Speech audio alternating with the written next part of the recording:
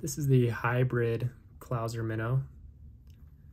Um, Clouser minnows are pretty much like the streamer pattern, using them in lakes, rivers for trout, saltwater species. When it comes to tying Clousers, you can use all sorts of different materials. The classic is just the two-tone bucktail, like this guy here. Lighter color on bottom, darker color on top, crystal flash down the middle. What's good about this one is it's very sparse, doesn't hold on to any water. The stiff fibers of the bucktail hold a really solid um, profile, even when fished quickly at high speeds. One of the drawbacks of bucktail is it's can be a little tough to tie in, can give you a bulky head, be a little tough to manage. Um, also, when fishing it in slower, clearer water, um, it kind of lacks the movement as some more flowy fibers such as marabou or craft fur. So another common way to tie this is just using craft fur for the top and bottom. You can see these fibers move around quite a bit more. They're really light, flowy. They'll undulate more. Um, they will hold on to a little bit more water, but they are synthetic, so they'll shed that water pretty quickly. Um, pros of this pattern, very easy to tie in. You can see there's very minimal bulk on the head for how much fiber I'm getting in there. Some drawbacks, um, fished at high speeds or in fast flowing water, the profile tends to collapse a little bit. Also for this top layer, not so much the bottom layer, but this top layer, it can get fouled around the hook pretty often.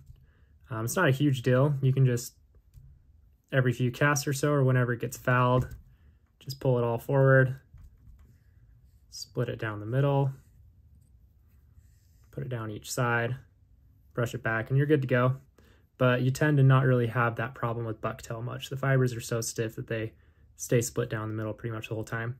So that's really my inspiration behind doing the hybrid um, Clouser.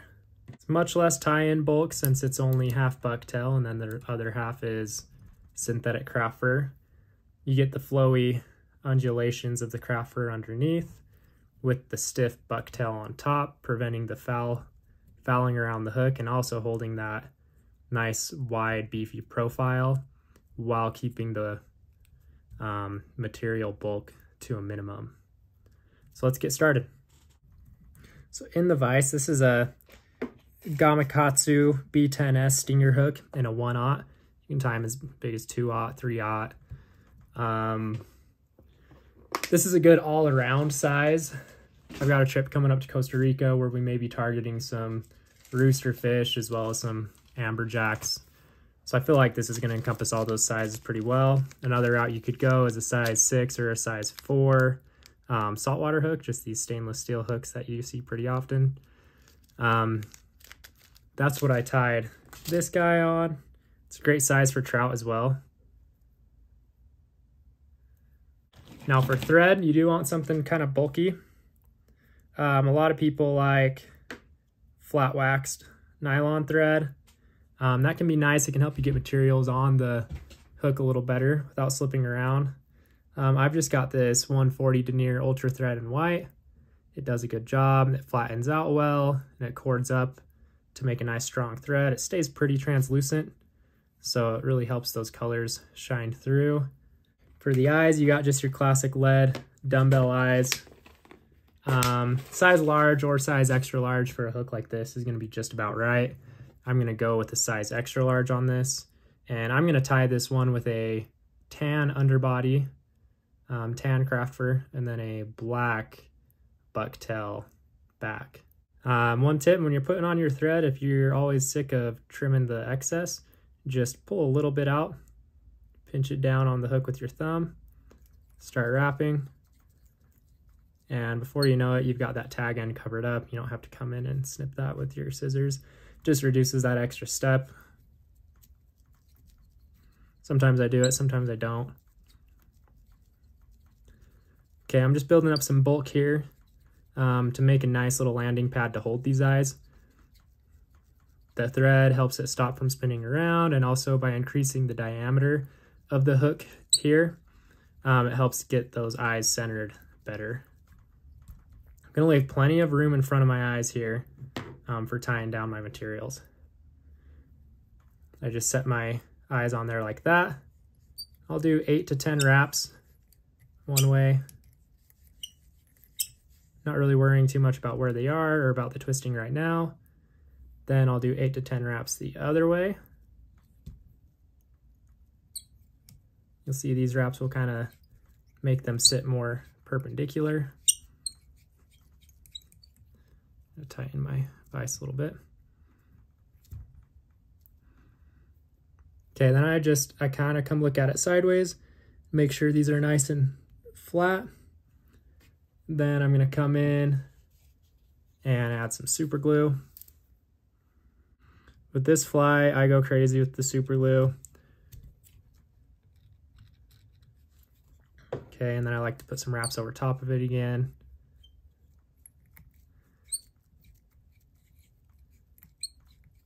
Other way.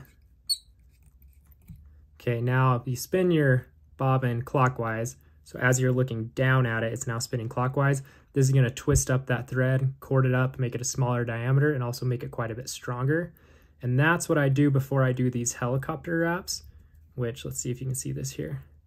See, I'm just going around the eyes and these wraps are cinching down all those crisscross figure eight wraps that I put in, just pulling everything tight.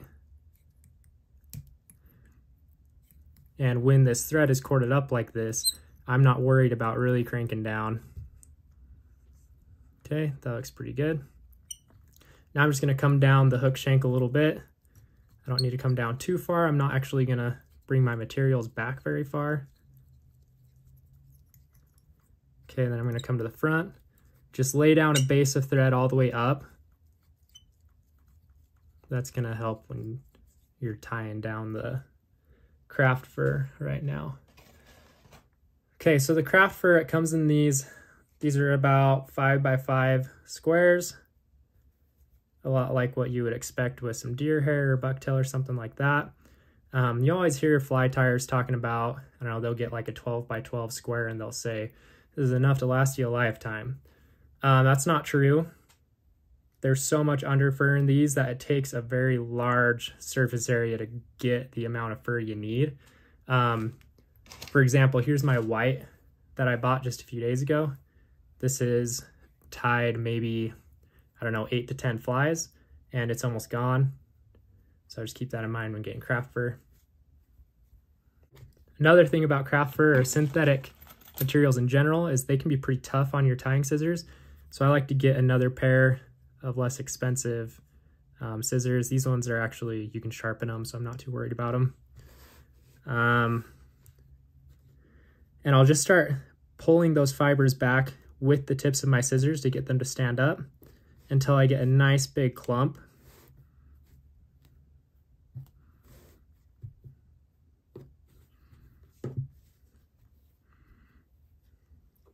Then I'll stand all those fibers up, get a hold of them with my hand, and just start cutting it off close to the hide, or what would be the hide if this was natural fur.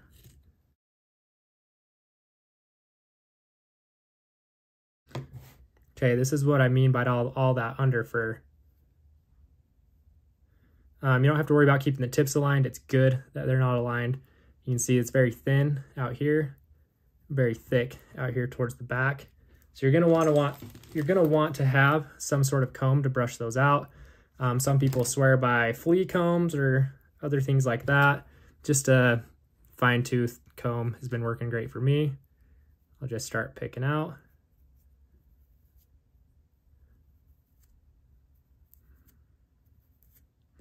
This makes great dubbing.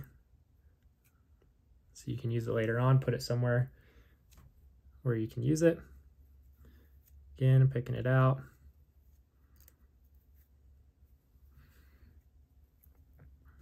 We basically want these long guard hairs.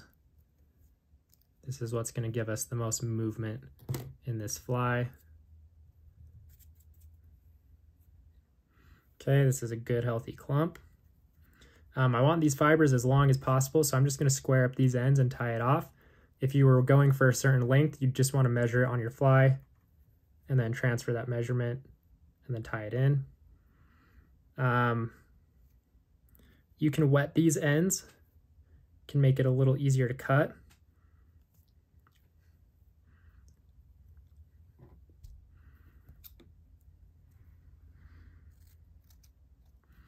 Okay, so you got a nice square end there. Now we're gonna spin the thread counterclockwise this time, and that does uncord the thread, flattens it out, but also it does something interesting when you go to make a wrap and then you let go, it makes that thread jump, jump rearwards. I don't know if you can see that when I take the tension off, that thread will tend to, let me try it a little bit better. Take the tension off, that thread will actually lean back. And so that's gonna help me grab the very rear end of these. Just hold it like that at a little bit of an angle. Up to the top, go all the way around. Let's try that again and go forward a little bit. There we go. Okay, before I cinch that down, now I'm gonna come to the back, go over, a couple loose wraps, and then start to tighten down. I'm always constantly kind of changing um, the characteristic of my thread, cording it up or flattening out, depending on if I want to gather materials and tie them down to the hook versus really crank down on materials with some strong thread tension. Okay, I'm just gonna loosely cover these up for now. Don't need to do anything yet, really. Okay, so that's already looking really good on the bottom. That's gonna look awesome with a black layer on top. Um, now we're gonna add our flash. For that, just crystal flash.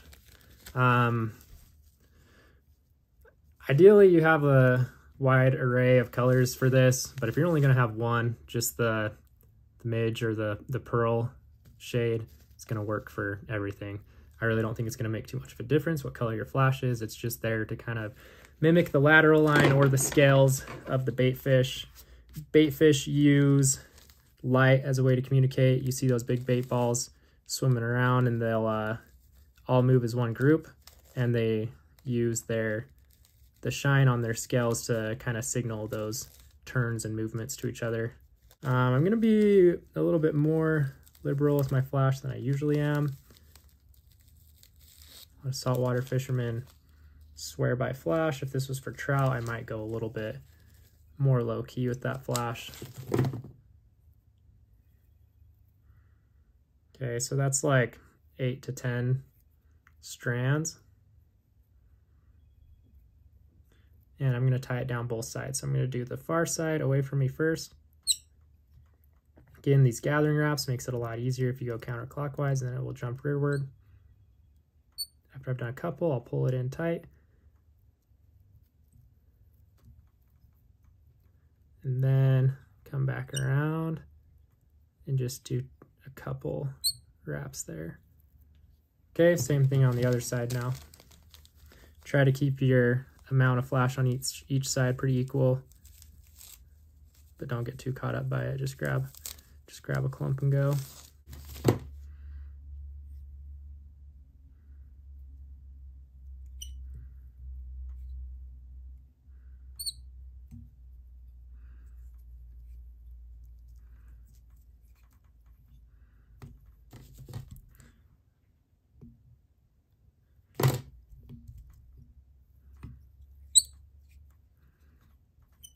Okay, I'm just gonna put down a fresh layer of thread here, getting ready for my, um, my bucktail. This slippery thread can sometimes make it tough to get your bucktail down. If I experience any issues like that, I'll put down a thin layer of super glue, then put the bucktail on it, um, and then come tie it in.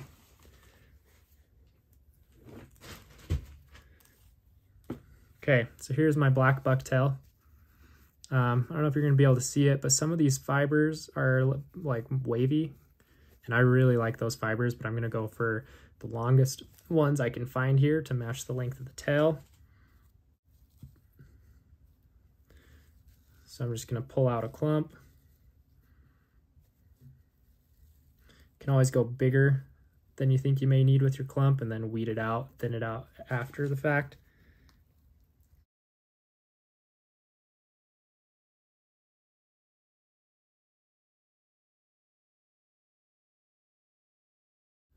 Okay, same process as the craft fur. I'm gonna grab the long tips and just kind of tease out any shorter fibers that are gonna create unnecessary bulk, make it tougher to tie in. And that's still quite a bit thicker than I want. So what I'm gonna do now is I'm gonna come out to the even longer fibers, exposing some shorter ones, pinch hard, and then I can tease out more. And I'll just keep repeating that step until I get the diameter I want. Okay, so I'm going to compare this to the length of my craft fur. So that's perfect. I'm just going to square up these ends and then it'll be just the right length.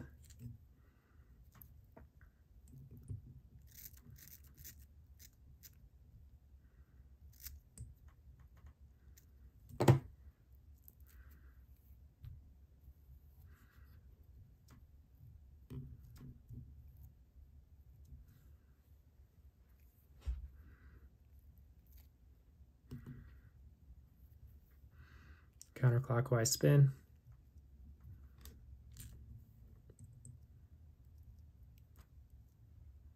Okay. Gathering wrap, second gathering wrap. Now I'm gonna spin clockwise. This time I can really crank down.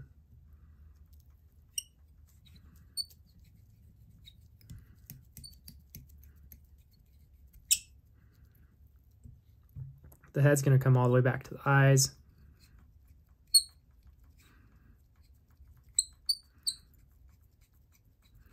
Your thread will want to slide off for a little bit, but that's okay as you keep making, or as you keep adding bulk to the head, that will kind of lessen.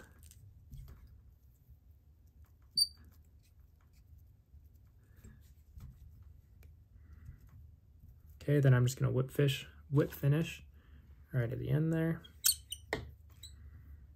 I'm gonna go nuts with the super glue here so the your whip finish isn't super crucial. I still do like to do two sets.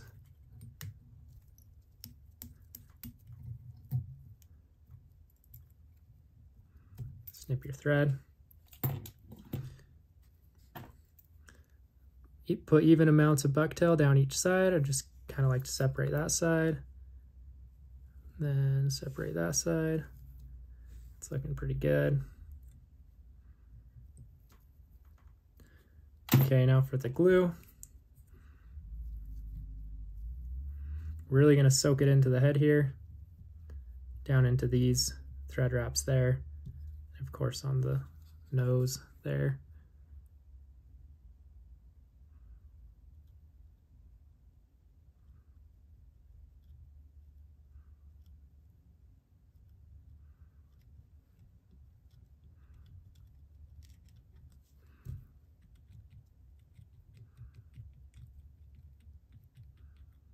I like to get the glue to go up on the bucktail a little bit and soak into the head there.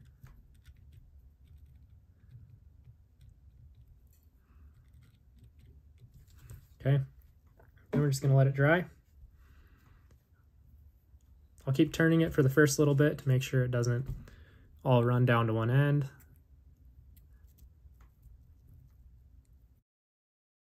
So there you have it. There is the hybrid clouser.